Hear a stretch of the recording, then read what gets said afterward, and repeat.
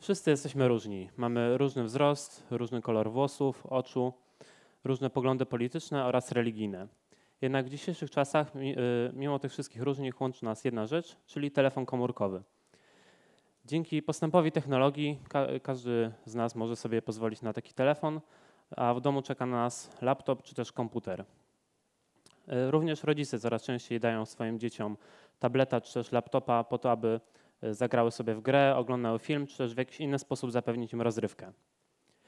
Wraz z rozwojem technologii związany jest jeszcze termin sztucznej inteligencji, który kojarzony jest zazwyczaj z czymś e, trudnym, skomplikowanym, niedostępnym dla zwykłego człowieka i obecnym tylko na uniwersytetach czy ośrodkach naukowych.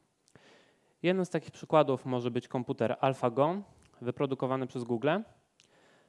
Został on zaprojektowany do grania w grę Go, która znana jest jako jedna z najtrudniejszych gier znanych ludzkości. Osiągnięciem tego komputera jest wygrana w zeszłym roku z Lisidolem. I była to, było to pierwsze zwycięstwo komputera nad człowiekiem o tak wysokim poziomie, ponieważ uznawany jest on za najlepszego gracza ostatniej dekady. Ten sukces pokazuje, jak ważna, jak rozwinięta jest sztuczna inteligencja i jakie może dać możliwości w przyszłości. Jednak e, możemy sobie z tego nie zdawać sprawy, ale ta sztuczna inteligencja jest już wśród nas i korzystamy z niej na co dzień. Każdy na pewno nieraz irytował się, gdy autokorekta pomyliła mu jedno słowo w jego wypowiedzi. I właśnie ta autokorekta jest już pewną cząstką sztucznej inteligencji, ponieważ program musi przeanalizować znaki, które użytkownik wpisuje, a następnie porównywać je z wyrazami w słowniku i zobaczyć, które e, najbardziej e, pasują w danym kontekście. Innym przykładem może być podpowiadanie całych kolejnych wyrazów przez klawiaturę. I gdy mamy jakieś swoje ulubione wyrażenia, powiedzenia, czy też po prostu konstrukcje gramatyczne, klawiatura jest w stanie je podpowiedzieć po wpisaniu tylko jednego słowa. Mógłbym mówić jeszcze inne przykłady, jak na przykład uzupełnianie E, zapytań w Google, czy też e, wyświetlanie postów na Facebooku. Jednak nie chcę teraz e, mówić o przykładach, tylko o tym, jak ta sztuczna inteligencja działa. Ponieważ, jak mówiłem, każdy ma przy sobie telefon, jednak dla większości ta sztuczna inteligencja jest czymś magicznym, niedostępnym, a mimo to korzystamy z niej. Warto więc wiedzieć, jak ona działa i ile osób tak naprawdę wie, jak działa ta sztuczna inteligencja. Możemy to próbować szacować przy, y, przy pomocy ilości programistów na świecie. Szacuje się, że jest ich około 20 milionów i na 7 miliardów y, ludzi na Ziemi daje nam to około ćwierć procenta. Y, czyli tak jak ten TEDx jest zorganizowany na 100 osób, to tak naprawdę nie powinno być tu żadnego programisty. No, a mimo wszystko każdy ma przy sobie telefon, więc warto wiedzieć, jak ta sztuczna inteligencja działa. I teraz, czym właściwie jest sztuczna inteligencja i czym różni, różni się od standardowych programów komputerowych? E, standardowe programy e, mają e, jakby jedno ustalone wyjście i na przykład jak chcemy posortować ciąg liczb, no to jest tylko jedna, jedna poprawna odpowiedź. Sztuczna inteligencja zajmuje się problemami, które nie mają jednoznacznej, prawidłowej odpowiedzi, tak jak na przykład podpowiadanie kolejnych wyrazów y, na klawiaturze. No, program nie może być nigdy w 100% pewny, y, jaki wyraz będzie chciał użytkownik wpisać następny. Różnica jeszcze jest taka, że sztuczną inteligencję należy wcześniej nauczyć, jakie, jakie odpowiedzi powinna dawać i proces ten nazywa się uczeniem maszynowym.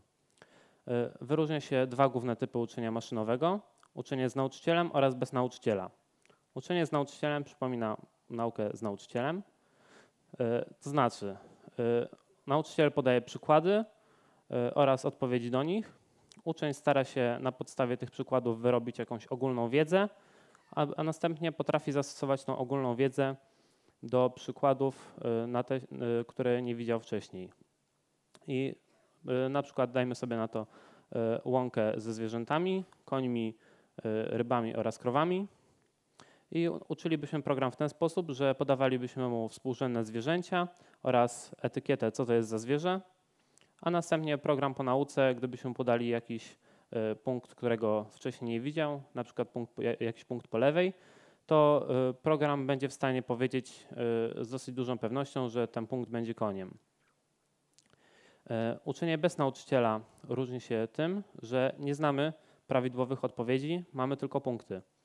Mimo wszystko możemy dosyć dobrze wyróżnić z tych punktów trzy różne grupy i właśnie uczenie bez nauczyciela stara się wyróżniać y, różne grupy punktów na podstawie y, samego ich położenia. Y, no tak, ale przyjrzyjmy się teraz terminowi sztucznej inteligencji. Sztuczna inteligencja mówi nam, że jest jakaś prawdziwa inteligencja, którą ta sztuczna stara się naśladować. Prawdziwą inteligencją są oczywiście zwierzęta oraz my, ludzie.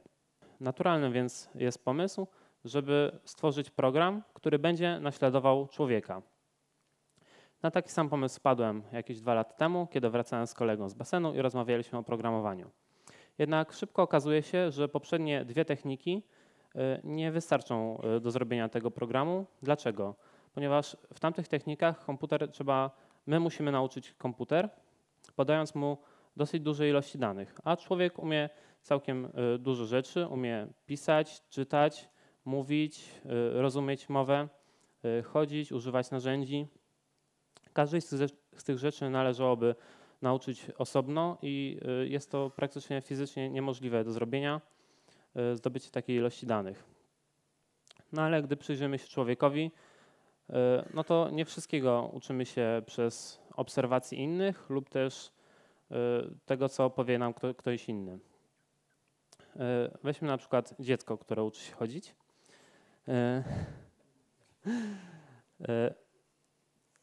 Ono może obserwować dorosłych i patrzeć, jak oni chodzą, jednak nie jest w stanie zauważyć wszystkich ruchów mięśni, jak oni utrzymują równowagę. Może tylko próbować i na podstawie swoich własnych upadków nauczyć się w końcu, jak prawidłowo chodzić. Więc pomysł jest taki, żeby zrobić robota, który uczy się sam. Jednak dalej nie wiedziałem, mm, jak to zrobić, więc zacząłem się uczyć. Zapisałem się na kurs internetowy 1, 2, 3 o sztucznej inteligencji. E, w którymś kursie z kolei e, oglądałem po raz kolejny wprowadzenie i prowadzący wymieniał e, typu uczenia maszynowego, czyli uczenie z nauczycielem, bez nauczyciela. I w pewnym momencie mnie zaskoczył, ponieważ wymienił trzeci typ uczenia, którego nigdy wcześniej nie słyszałem, czyli uczenie z krytykiem.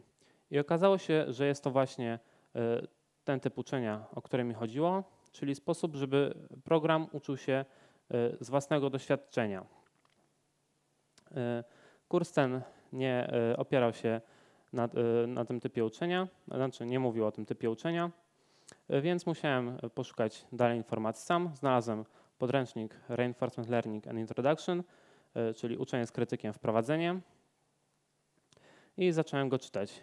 I okazało się, że mimo iż to był podręcznik, czytało się go całkiem fajnie, ponieważ Mm, ten typ uczenia, jak już mówiłem, bazuje na tym, jak uczy się człowiek, czyli na podstawie własnych doświadczeń. Y, także ucząc się o tym, jak programować komputer, uczyłem się także o tym, jak funkcjonuje mój mózg, jak funkcjonuje ja sam y, oraz także inni ludzie. I szczególnie zaskakujące dla mnie było to, że w, w, tych wzorach matematycznych oraz algorytmach, które były w tej książce, widziałem faktycznie jak one działają w moim życiu. A teraz, y, jak działa właściwie człowiek? Wyobraźmy sobie, że jesteśmy w pokoju, w którym są dwoje drzwi, prawe i lewe. Y, za tymi drzwiami znajduje się kolejny pokój, też z dwojgiem drzwi i tak dalej, to się ciągnie w nieskończoność. Zastanawiamy się, co się stanie, jeśli przejdziemy przez te drzwi, dlatego postanawiamy najpierw przejść przez prawe, przechodzimy i z sufitu spadają nam pieniądze. Jesteśmy zadowoleni, zbierają pieniądze, Patrzymy, czy za każdym razem tak się stanie, gdy przejdziemy przez prawe drzwi i faktycznie tak się dzieje. Jednak zaczynają nas intrygować te lewe drzwi. Co się stanie, jeśli przez nie przejdziemy? Może zdobędziemy więcej pieniędzy. Próbujemy przez nie przejść i bum, dostajemy czymś po głowie. No, nie jesteśmy zadowoleni, boli nas głowa. No ale może to był tylko tak jeden raz, może następnym razem dostaniemy jednak te pieniądze. Spróbujemy jeszcze raz. Przechodzimy, bum, znowu dostajemy po głowie. No, jesteśmy już teraz bardzo zniechęceni do tych drzwi i postanawiamy przychodzić tylko prawymi drzwiami i mamy nadzieję, że będziemy dostawać coraz to więcej pieniędzy. I właśnie w ten sposób działa człowiek, czyli w każdej sytuacji wybiera to działanie, za które spodziewa się dostać y, największą nagrodę. Ktoś mógłby się teraz ze mną jednak nie zgodzić, ponieważ nie, nie jest rzadkością, że pomagamy innym ludziom, często sami na tym tracąc. I dlaczego to robimy? Otóż y, organem, który odpowiada za działania, które podejmujemy, jest oczywiście mózg. A mózg y, nie odczuwa fizycznie wartości pieniądza. Mózg y, odczuwa jego jakby nagrodę lub karę za pomocą tego, jak się czuje, czy jest wesoły, czy, czy też smutny, czyli, a dzieje się to za pomocą enzymów, które się w nim wydzielają. Dlatego więc, gdy wydajemy pieniądze, gdy się ich w jakiś sposób pozbywamy, no to towarzyszy nam ten, przy tym smutek. Jednak gdy pomagamy przy tym innym, jesteśmy szczęśliwi i ta, to szczęście przewyższa smutek i dlatego właśnie pomagamy innym ludziom. W ten sposób działa również wspomniany wcześniej komputer AlphaGo, który, który przy wygranej grze dostaje nagrodę, czyli tak jakby przechodził przez prawe drzwi, a po przegranej grze dostaje karę, czyli tak jakby przeszedł przez lewe drzwi. I czym w ogóle dla komputera może być kara lub nagroda? No, komputer jest maszyną, maszyna y, liczy liczby, czyli y, nagroda lub kara to jest po prostu dodatnia lub ujemna liczba. Zafascynowany y, tymi algorytmami, które poznałem, postanowiłem zrobić własną implementację tych, tych, tych programów. Wziąłem robota, którego wcześniej zbudowałem, trzewikodzioba, którego zadanie było jeździć po linii i przeprogramowałem go w ten sposób, aby uczył się sam jeździć po tej linii. Tutaj widzimy na początku e, jeździ prosto, e, nie umie nic i za chwilę będzie proces nauki. I gdy świeci się niebieska dioda, to oznacza, że dostaje on nagrodę, tak jakby przechodził przez prawe drzwi. Gdy świeci się czerwona dioda, to tak jakby przechodził przez lewe drzwi, czyli dostaje karę.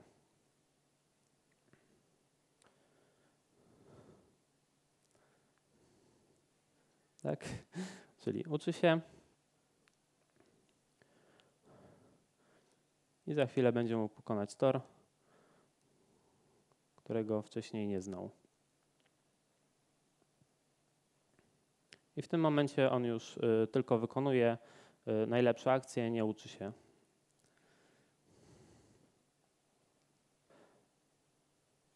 Tutaj widzimy y, czujnik robota. Czujnik wysyła do mikroprocesora sygnał, kiedy znajduje się nad linią.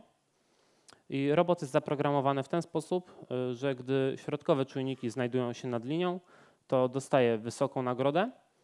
Y, kiedy, czujniki y, kiedy linia znajduje się pod bocznymi czujnikami, wtedy robot dostaje mniejszą nagrodę. Kiedy robot całkowicie zjedzie z linii, to dostaje, zaczyna dostawać karę. Jest to również zaprogramowane w środku w robocie, E, nie muszę e, z zewnątrz mu e, dawać nagród lub kar, więc można by porównać to do swego rodzaju układu nerwowego. Również wcześniej, wtedy jak się robot uczył, można było zauważyć, że gdy zjechał z linii, to podnosiłem go i poprawiałem go tak, żeby znalazł się blisko linii z powrotem, jednak nie dawałem go bezpośrednio z powrotem na linię. Można to porównać do swego rodzaju wychowania, tak samo jak E, dzieci trzymamy w ryzach, tak, nie, nie dając bezpośrednio e, dobrej odpowiedzi, lecz e, no właśnie trzymamy je w ryzach, tak, aby same mogły szybciej natrafić na prawidłową odpowiedź.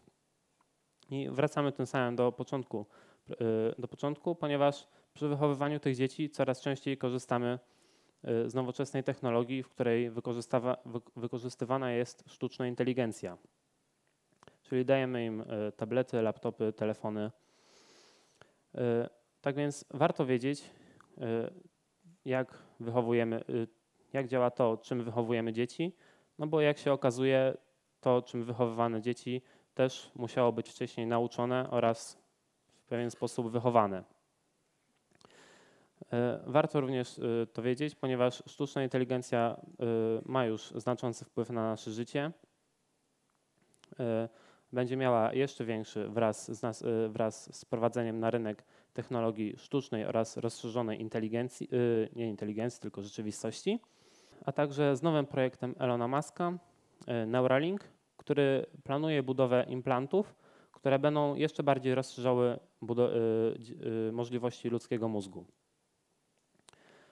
Tak więc y, zachęcam do nauki tego, jak działa sztuczna inteligencja, bo po pierwsze wiemy, jak możemy się nauczyć, jak mm, działają rzeczy, z których korzystamy na co dzień, a po drugie możemy się nauczyć również, tak jak ja, tego, jak, jak naprawdę działamy my sami i czemu robimy y, niektóre rzeczy tak, a nie inaczej. No i gdy projekt Elona Muska osiągnie sukces, będziemy wtedy wiedzieć, jak działają obie inteligencje, które będą w naszej głowie. Dziękuję.